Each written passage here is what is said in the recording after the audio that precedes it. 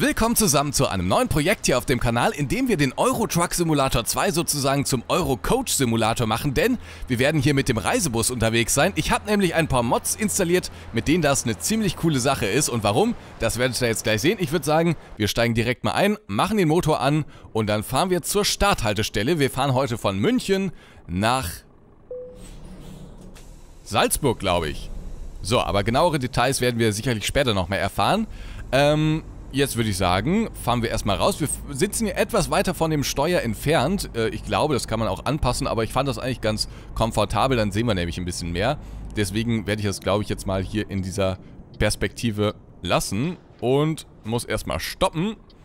Denn ich habe natürlich auch den äh, Traffic Jam Mod installiert. Sodass wir hier auch einige äh, Stausituationen hoffentlich haben. Denn wer kennt es nicht, wenn man mit dem Reisebus unterwegs ist, man kommt irgendwann kommt man immer in den Stau. Und deswegen dachte ich mir, ist das nur realistisch? Und deswegen wurde der auch installiert. So. Na. Ich glaube, wir müssen hier erstmal abwarten, bevor wir überhaupt zur Starthaltestelle kommen, äh, fahren können. Wir kommen natürlich jetzt direkt aus dem Depot und äh, müssen jetzt die Starthaltestelle erreichen. Da warten dann schon unsere Passagiere und die nehmen wir dann natürlich mit. So, wir müssen nämlich da vorne schon links fahren. Die nehmen wir dann natürlich mit und werden die hoffentlich heil nach Salzburg bringen. Ich finde das eine ziemlich coole Sache und wenn euch das ähnlich gut wie mir gefällt, dann lasst gerne einen Daumen nach oben da. Ich, äh, mein Plan ist, das Ganze zu einer etwas längeren Videoserie zu machen, denn ich finde es ist eine ganz schöne Abwechslung. Klar, das ist hier immer noch der Euro Truck Simulator und klar, der ist vor allen Dingen auf LKW ausgerichtet, aber äh, mit dieser Modifikation funktioniert das allerdings äh, eigentlich ganz gut und ähm, deswegen dachte ich mir, wieso denn nicht? Wieso sollte man das nicht ausprobieren? Und mein Plan wäre, dass wir dann in den nächsten Folgen einfach nochmal ein paar andere Busse ausprobieren, denn es gibt wirklich einige Busse für den Euro Truck Simulator. Und ähm, ein paar davon sind auf jeden Fall so schick, dass man die mal ausprobieren kann.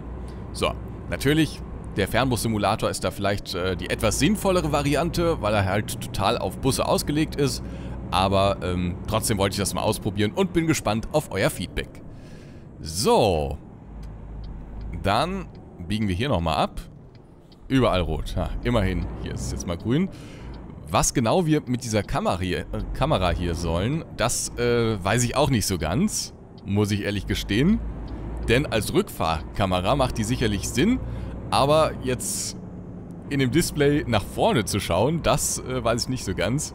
Vielleicht Vielleicht noch in der Stadt, um zu sehen, ob äh, vor einem irgendjemand ist, aber ich glaube, das sähe man auch so. Deswegen, ja, was genau das bringt, weiß ich nicht, aber... So, jetzt müssen wir mal gucken. Ist das hier schon irgendwo? Ach, hier ist die Bushaltestelle. Müssen wir kurz rangieren. Mal schnell hier die Warnblinker an. Und dann geben wir ein bisschen Gas, damit er uns nicht reincrasht. Der bleibt schon stehen. Herzlichen Dank. Das kann ja immer mal passieren. Ich finde das Ding, also dieses Modell, dieser Scania Touring, die, den wir hier fahren, den finde ich schon extrem schick. Also gerade im ETS sieht der schon echt gut aus, oder? Also ich bin total begeistert von diesem Busmodell. Und ich zeige euch nachher noch was. Aber jetzt fahren wir erstmal hier die Passagiere abholen.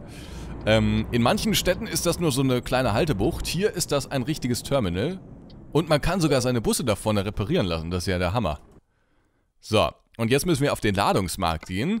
Ähm, und da müssen wir jetzt mal schnell die richtige Fracht auswählen. Und können dann jetzt vorne am Verladebereich. Mal gucken, wo genau das ist. Ah, ich denke hier vorne, wo jetzt die Leute stehen, ne? Ja, ähm, dann müssen wir hier einmal rumfahren. Das ist ja cool gemacht. Das ist schon ziemlich cool, oder? Also, wie funktioniert das? Ich äh, verrate es euch gleich, ähm, wenn ihr das selbst ausprobieren wollt. Aber jetzt äh, nehme ich erstmal die Passagiere auf. Mal gucken. Unser Scania Touring ist extrem lang. Deswegen müssen wir ein bisschen schauen, dass wir das alles richtig machen. Und hier stehen jetzt tatsächlich Fahrgäste. Ist der Hammer, oder? So. Und ich nehme mal an, dass wir jetzt hier nur automatisch beladen können. Weil wir stehen ja hier vermutlich richtig. Und Deswegen wird die Fracht jetzt mal kurz aufgeladen. Es dauert ein paar Minuten, alle Koffer verstaut. So, und dann fahren wir jetzt in Richtung Salzburg. Guten Nachmittag, herzlich willkommen im Scania. Ich hoffe, Sie haben Lust auf eine entspannte Reise in Richtung Salzburg mit dem besten Busfahrer EU West. Und ähm, ja, vielleicht kommen wir in Stau. Ich als Let's Player würde es mir jetzt wünschen. Ich als Busfahrer wünsche es Ihnen natürlich nicht. Und ähm, ich habe übrigens auch eine Busmodifikation noch äh, installiert, sodass hier auch viele Busse rumfahren. Ich dachte mir, das passt ja ganz gut. So, wie funktioniert das? Was ist das für ein System, was ich hier installiert habe? Ich habe euch die äh, Mods in einer ähm, Liste zusammengefasst, äh, die ihr in der Videobeschreibung findet. Da ist dann einfach ein Link zu der Website und da sind dann alle aufgelistet. Und ähm, Ihr braucht dazu erstmal, wenn ihr den Scania Touring hier fahren wollt, braucht ihr natürlich diesen Scania. Ähm, dann braucht ihr aber auch diesen Bus-Stop-Mod und natürlich hier noch den Staumod und sowas. Aber äh, am wichtigsten ist eigentlich der Bus-Stop-Mod.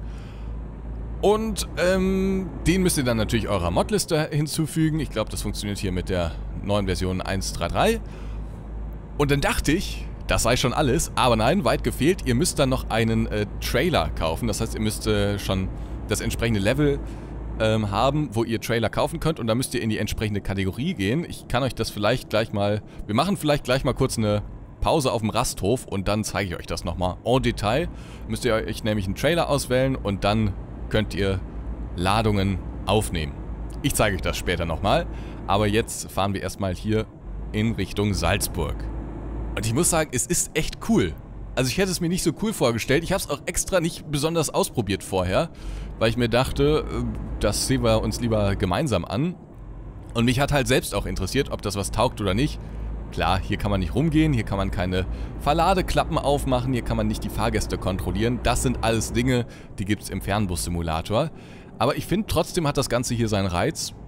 Deswegen, wieso nicht? Ne? Wieso nicht? Ladies and Gentlemen, wir sind auf der Autobahn. Die Autobahn ist leer. Sie haben Glück gehabt. So. Und da fahren wir jetzt... Ah, müssen wir... Wir müssen hier rein. Wow. Fast hätte ich es verpennt. Heute sind wir doch mal wieder ein bisschen flott unterwegs. Ich lese immer mal äh, Zeitungsartikel und so, wo es heißt, ähm, hier, Flixbusfahrer mal wieder am Handy unterwegs, Handy am Steuer. Ähm, und äh, letztens habe ich auch mal so ein Video gesehen, wo ein Passagier ähm, gefilmt hat, wie der Busfahrer die ganze Zeit irgendwas auf dem Handy angeguckt hat, anstatt äh, zu lenken und sich auf den Verkehr zu, äh, zu kontrollieren. Absolut unverantwortlich. Ähm, bei dem Fahrmanöver gerade, was ich hier gerade unternommen habe, hätte man auch das Gefühl bekommen können, dass ich etwas abgelenkt war. Aber es war... Ich bin auch neu in dem Geschäft, ihr merkt das, und äh, dieser Tatsache war das geschuldet. Es gibt für dieses Scania, glaube ich, auch allerhand ähm, Repaints. Also wenn wir da noch ein paar andere Dinge ausprobieren sollen äh, und ihr da irgendwelche Empfehlungen haben, habt, ich glaube, ich habe eben noch gesehen, äh, Transdev oder so. Spricht man bestimmt anders aus. Ich habe es jetzt mal urdeutsch ausgesprochen. ich glaube, es ist ja diese französische Firma, ne? Ähm, also da gibt es noch allerhand Lackierungen. Wenn ihr da noch was anderes sehen wollt, schreibt das gerne in die Kommentare, dann werde ich mich danach richten und werde in den nächsten Folgen auch andere Dinge ausprobieren. Äh, mit Promods soll das Ganze wohl schwierig sein, sonst hätte ich auch liebend gerne auf der Promods gespielt, aber die können wir sicherlich ein anderes Mal nochmal gut verwenden. Da habe ich auch schon ein paar gute Ideen. Aber dazu später mehr. Jetzt äh, konzentrieren wir uns eben erstmal auf das Busfahren. Und ah, jetzt wird es hier schon ein bisschen voller, aber Ich glaube, wir kommen einigermaßen gut durch. So. Ich glaube, die Sitzposition können wir ja hier anpassen, ne? Ne? Hier, genau. Ähm. Aber die, das kann man auch gut... Ah, das sind die Spiegeleinstellungen. Ah, okay. Äh. Ah, hier. Vielleicht machen wir es so. Dann sind wir ein bisschen näher am Lenkrad. Ist ein bisschen... Ihr kennt das sicherlich. Jeder kennt das, glaube ich. Wenn man frisch den Führerschein hat dann äh, zieht man, ziehen viele sich, und ich muss sagen, ich habe das auch gemacht, ziehen sich den Sitz fast bis zum Anschlag nach vorne, weil sie der Meinung sind, dass die Beinchen so kurz sind, dass man sonst hier Kupplung und sowas nicht erreichen kann. Und äh, so ein bisschen ist das jetzt hier gerade auch.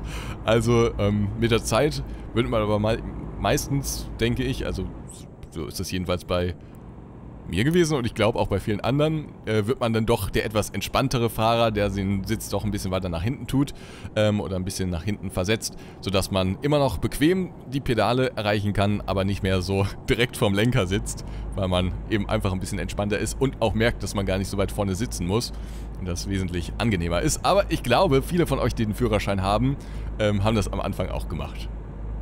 Es ist ja auch verständlich, man will sicher sein, man will das Steuer fest in den Händen haben und dann quetscht man sich da vorne rein. Und ähm, ja, dann sitzt man direkt, ist man so ein bisschen wie die Oma, ne? direkt über dem äh, Steuer sitzt man dann. Naja. So. Dann würde ich sagen, wechseln wir wieder die Spur. Aber erst, nachdem wir geschaut haben, ob da jemand kommt, da kommt jemand, dann ab die Post. Also ich finde es schon cool. Es ist einfach eine Abwechslung. Und wenn ich das richtig gesehen habe, verdienen wir damit sogar Geld. Also das ist eine richtig gute Integration. Ich, diese Busmodelle äh, gibt es ja schon länger für den Euro Truck Simulator. Das ist ja kein Geheimnis, aber bis jetzt hatte ich immer das große Problem, dass ich mir dachte, ja gut, dann fahren wir von, von Stadt zu Stadt, aber was bringt uns das? Ja? Das kann man mal machen, aber daraus kann man kein eigenes Projekt machen. Habe ich ja bei dem Winterdienst auch gemacht, weil ich das einfach mal cool fand. Aber daraus kann man kein eigenes Projekt machen. Das ist dann irgendwann witzlos, wenn du nichts damit verdienst, wenn du keinen, keinen Fortschritt hast und so.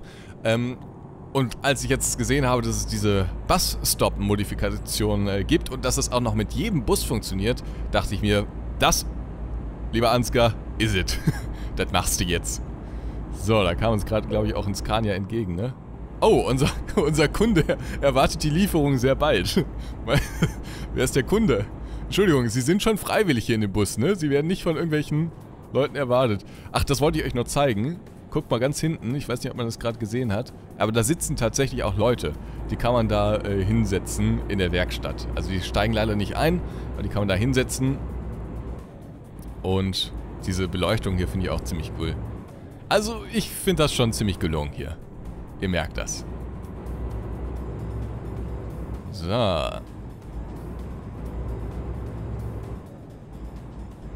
Salzburg. Da sind wir doch. Dann zeige ich euch am Ende einfach schnell, wie das äh, vonstatten geht. Dann werden wir jetzt hier ab... Wir sind gerade erst in Österreich angekommen und zack, Salzburg erreicht. Und wir sind nicht in den Stau gekommen, ne? Vielleicht müssen wir dann nochmal eine stärkere Version sozusagen rein laden. Ich hoffe, dass ich muss mal gucken, ob es da irgendwie noch eine stärkere Stauversion gibt. Aber ich hätte einfach mal Bock, einen riesigen Stau zu erleben im Euro Truck Simulator. Da habe ich mal irgendwann so ein, so Jodel. Ach, übrigens hier auch äh, realistische Trailer habe ich hier eingefügt. Aber äh, ich habe mal irgendwann so ein, so Jodel-Post gelesen. Mein Mitbewohner steht seit, spielt den Euro Truck Simulator und steht seit drei Stunden im Stau. Also, da dachte ich mir, das ist, ähm, das ist nochmal ein anderes Level. Aber ich finde das irgendwie witzig.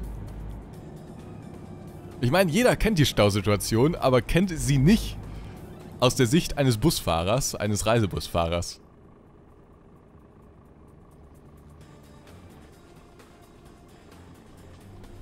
So. Ich habe die Bremsen, Bremsen, relativ stark eingestellt, weil ich äh, auf diesem Profil mal im Multiplayer gefahren bin. Und ihr wisst es, wenn man da einmal Skoda gefahren ist, dann weiß man, warum man die Bremsen unter Umständen etwas stärker einstellen sollte. So, Ampel ist gleich rot. Dann werden wir jetzt mal weit ausholen. Wir haben auch übrigens... Oh, das ist eine Kontrolle. Ich möchte euch einmal kurz was zeigen. Ich habe ein bisschen zu weit ausgeholt, aber ähm, da haben wir Platz, das kurz anzuschauen. Wir haben gelenkte Achsen hier. Das funktioniert also. Im Prinzip liefert das Spiel nämlich alles, was, was so ein Bus braucht. Ähm, der, der Radstand ist natürlich jetzt hier ein bisschen verändert, aber äh, die gelenkten Achsen gibt es ja auch bei den normalen LKW.